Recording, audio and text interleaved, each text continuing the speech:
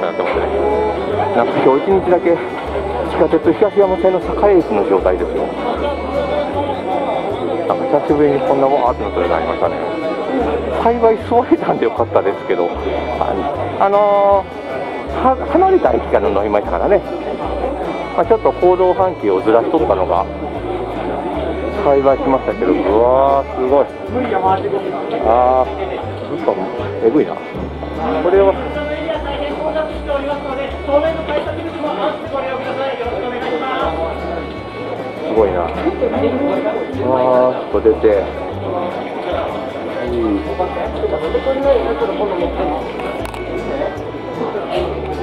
すごいな。いやすごいな。ね、ちなみに、えー、このイベントイベントからだいぶ外れたところをいろいろと回ってましたけど今ね回ってた時に地元の方とかとね、えー、交流してちょっと情報を仕入れましたけどあれらしいですね。あんまりやはり地元の広告ではその電車に乗る人はやっぱあの広告が貼ってあったんでそれであなんかイベントやるんやなってのは知ってたらしいですけどちょっと離れたところの沿線の方だと特になんか他の告知の時は何かしら新聞でね広告が入ったりとかなんかいろいろあったりするみたいなんですけどあの広報でねあの地域の自治会の広報とかで流れたりというのがあるらしいんですけど今回は特になかったみたいでああそうなんですねっていうような話です。ちょっと離れたところだとその沿線でねその電車に乗れない方だとあ今日こういったイベントがあるっていうのをあ知らんのやっていうのがありましたね。まあまあまあ。私のね回ってたようなところにねあの来る方もいませんからね、えー、であれですね他にもそうですね水間鉄道さん自体は結構いろいろとイベントは打ってるみたいでですから今回もなんかやってるんですねっていう感じで、えー、反応でございましたんであそうかそうかと、えー、いうことでございますで、まあ、一応こっちでねカクカクチカチカと説明して、えー、挙句の果てに実は私も YouTube をやっておりましてとね、えー、CM を、えー、軽く売り込みをして、えー、挙句の果てに取材のね、えー、許可までいただけるというありがたいいい街貝塚、うん、この、えー、10万10万人 YouTuber の、えー、隅っこで登録者数100人のところがそんな感じでこっそりと回っておりますということでございますね。ああでもああすごかったな。ちなみにさっきの動画ってどれぐらい増えてんだろうな。でさっきの動画からさ1000人ぐらいとかさうちのチャンネルに アクセスとか増えてないかな。そんなわけない。えー、っとこれあでもそうかこの動画公開になるときにはもうすでにあれかネタバレになってるのかもしれませんから大丈夫かもしれませんから試しにねどんな場合になってるか見てみましょうか。おさっきの動画70でも79回。まだ気づいてない人多いぞこれ。これだけ人ってまだ79人か。そっか結構気づいてない人多いな。おおおちょっと待って。5人増えてる。もう誰か登録してくれてる。今日、あえーと、あ6人じゃない、3人か、162人でしたからね、160、おお誰か登録してくれたよ。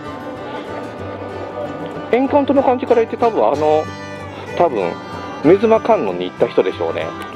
はあ、来たかいありましたね、2人増えましたよ、チャンネル登録者が。いやいやいや、うちにしては大快挙です。いや、ありがたいですね。うわーこっちももうすごい列だ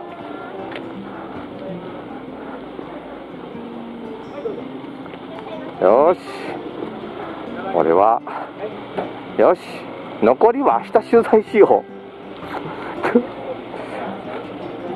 今回そのためにねこういう事態も想定していたんで今回ちゃんとうちホテルも予約してますから。泉さんので。いやこれは読みがちでしたね。あんなごちゃごちゃのところターミナルも下くりも行っとれませんからね。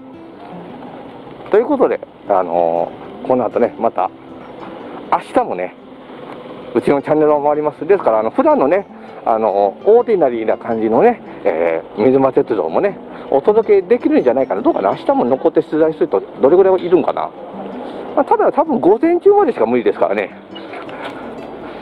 私が痛恨のミス、ETC カードを忘れて高速道路に乗れないというね、ですからあの、強制的にこの後四日市まで下道で帰るっていうイベントが待ってますからね。うん。あこっちも開放してんだ？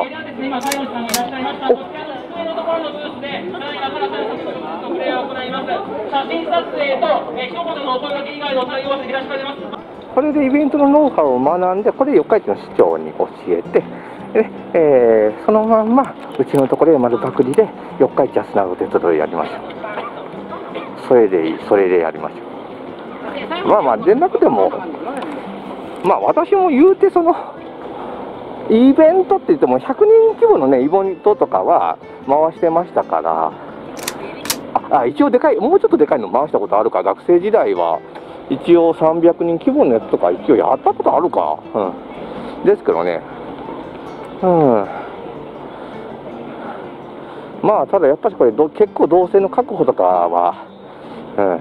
これだけ人が集まると大変そうですよね。うん。さあ。この鉄道とかもいいですよね。まあ、この辺りとかはまた明日、じっくりやろう。どうしような。こっからどうしような。でも多分今回はいろんな人が多分アップロードしてるんでしょうね。まあ、YouTube でね、アップロードする人もあるでしょうし。さあ、どうしようかな。こっちの方もまだまだ人がいっぱいですし、まだまだこれは大変そうだな。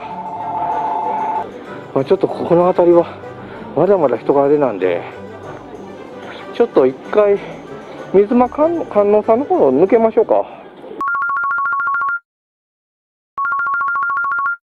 いやすごい人ですね。どうしような。先に一回貝塚の方抜けといてもいいかもしれませんね。こんだけ人が多いとすごいわ。ええすごいですねこれ全部その撮影の列なんだ。おかしいな。すごいですね。うん。あっちの方もねいろいろと見ました奥の方もああだいぶあすごいな。やっぱ混んでますね。後からなんかやっぱ混んだね。朝のうちにといてよかったですね。うん。あの大きにカメラ回す余裕ありましたもんねまだ朝。ああよしよしよしじゃあ、ちなみに観音さんの方どうなってるかちょっと見てみましょうか。意外と皆さん観音さんの方行ってないみたいでね。さあ、これはね、朝寄ってますから、行き方は分かってますからね。いやー、まだまだ日差し暑いですよ。今何時 ?3 時くらい？今、逆に今3時半か、3時半やから今が一番暑い時間帯じゃ、暑い時間帯か。そうですね、炎天下で。ああ、若いな私が多分、ね、イベンターでね、ああいうのやりますよって言ったらね、間違いなく高架下とか、あれですね、えクーラーを引いたところをね、準備しましょうとかっていうね、えー定設営提案から始めますからね、えー、この辺りすごいな。まあ、せっかくですからちょっと奥まで歩いてみましょうか。空いてはずですよね。あの5時回ってからあ最後の皆さんを見届けてからね、えーあと300円払ってね、電車に乗るっていう手もありますからね。うん。その方がいい気がしてきた。あの電車の混み方はすごいですからね。で、今回は何せ、今晩のうちに四日市帰らなあかんわけじゃないですから、何せ、今日のうちに泉佐野まで行きゃいいんですからね。こりゃ楽だ。でも言うて、あのコロッケは効いてますね。ええーあれ逆にご飯なくてよかったかもな。うんしかし今日地味に歩いてますよね。いや、炎天下、いや、帽子ね。帽子と筆記用具を買うっていうね、あれになってましたもんね。何買ってこうな。あれ、ワンコがおらんくなった。あれ？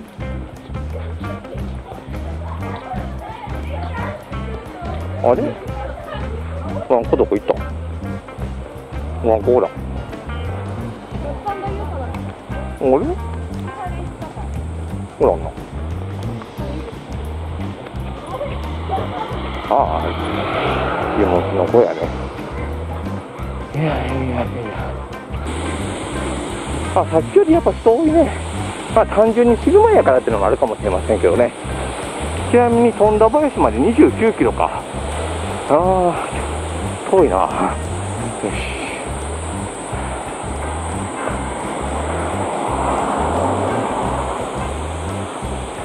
そうで、これね、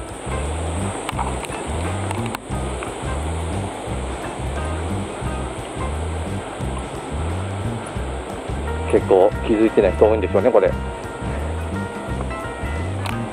まだ79人でしたもんね、さっき見たら。うん、で、あ、これが筆とかなんだ。へえ。あ、あの、使った筆とかをね、これ、水間寺って呼んでましたけど、いいんでしょうね、水賢寺さんとか、いや、大丈夫、水間寺なんだ、やっぱし、読み方ね。うん、よし。まあもう参拝はね、朝、一通り、えー、済ませておりますので、ごいな。あでもこっちは全然やっぱ人の数が少ないな。うん。あやっぱしこっちはあれですね。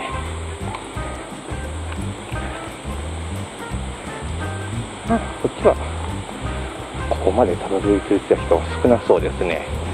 はあでもとりあえず涼しいからこっちいいや。ったですからね。もうなんかやってる。うわ。若いな。まあまあな高さから飛び込んどるな。よし、は2回目の気もしますけどあ。誰かあれかとかねああさすがに。大丈夫ね。えー、じゃあロードもやからまあ最最悪って言っても大丈夫でしょ。よし。やっぱここ涼しいな。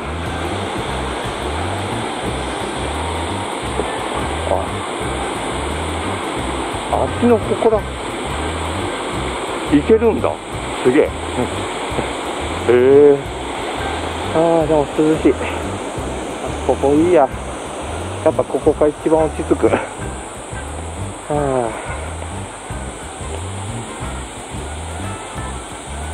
何人ぐらいここにたどり着くのか見てみたいところですけど。川遊びやってる、ね、子たちがいるんでね。あんまりそのそばでねカメラを回してるとね、えー怪しいおっさんですからね、それでなくたって怪しさ100倍ですからね、はい。いやああ、どうしような。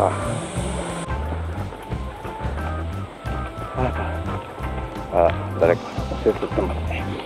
はいは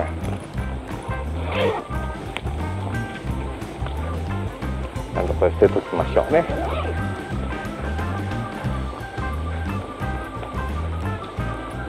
お寺のゴミを拾うというのもお布施の一つですからね。そうそうそう、えっ、ー、とね、上上世とか言うんですよね。そうそうそう。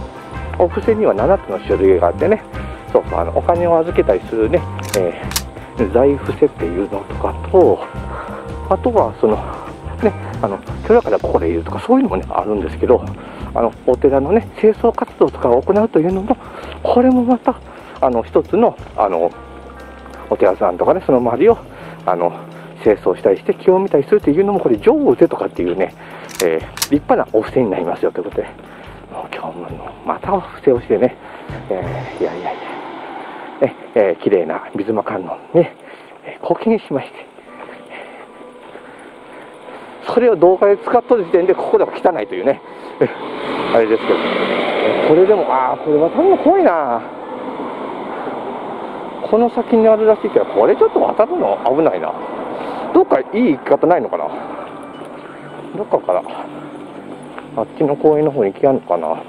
にゃんこ飛び降りた。すげえ。結構な高さ行ったな。公園はあっちか。橋越えた。待てよ待てよ待てよ。筆塚があって今現在地やろ。ほやで。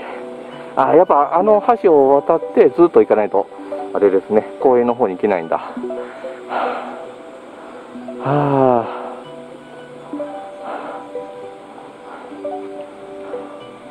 これはちょっと大変かな、はあ、ちょっと遠そうですもんね。ちょっと。あっちまで行くのはちょっと諦めようか。ああ。うんまだ大丈夫。まあだいぶ今ねポカリスエットまるっと開けましたからね。まあポカリスエットはねポカリスエットやからね。で喫茶店。これあれですね。今回の肝はあの座って入れるところを探すっていうのが肝ですね。うん暑い暑い暑い。すごいな。あ惣菜はないのか。お惣菜はないみたいですね。そういやさっきのところはかしぼって置いてあったっけ？そういや豚と牛はあったけど。うん。ええ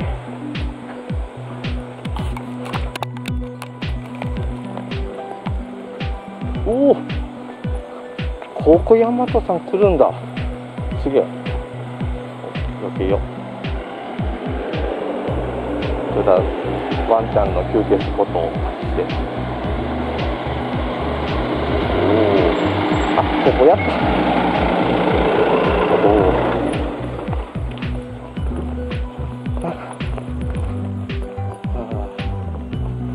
でもこれ。ね、座るポイントがなかなかないなとかいうね、えことをブツブツ言ってますけど、言うて多分、今回、私、だいぶうまいこと休憩スポットを見つけた方だと思いますからね。うん。やっぱ、やっぱこのマークがあるんだな。何これ？あ、俵のマークなんだ。俵印なんだ。さっきから今日ちょいちょい見分けますよね。貝塚の駅のところからも。で、ヨハイさんがやっとって、あの酒屋の方はちょっと洒落てヨハヤになってるんですね。え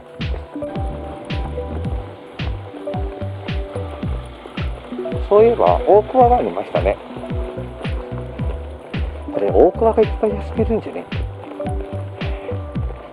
悪魔のささやきが大桑に私を向かわせようとしていますよ。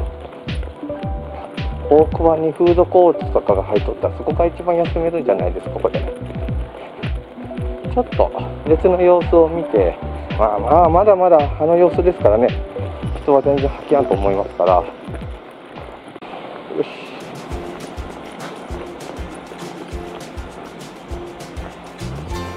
ああ、ね、この資料かなんかも気になってねやってなさそうですね。そうなんでしょう。暗いし。やってないのかな、今日は。ねえ。ああ。あ、辛い。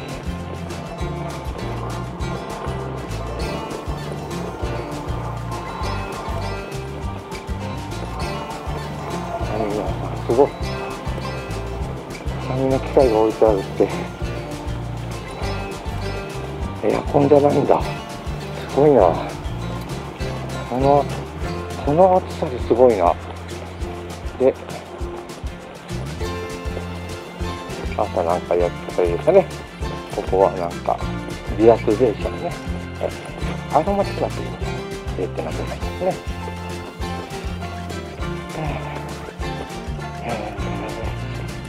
すごいな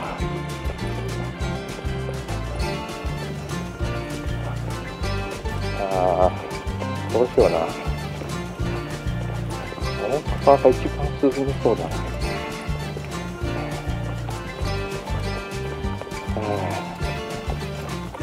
ょっととりあえず、駅がどれぐらいまだ混んどるか見てみましょう。多分、5時の最後のところがね、一番混むと思いますから。